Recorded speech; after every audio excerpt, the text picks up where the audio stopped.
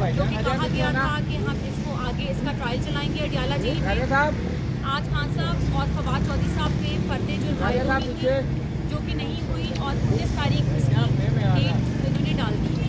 तो सबसे पहली बात मैं यहाँ पे ये कहना चाहूँगी कि मैं एज एन एहलिया मुझे काफ़ी दुशारी का सामना था जो मैं इतना लंबा चल के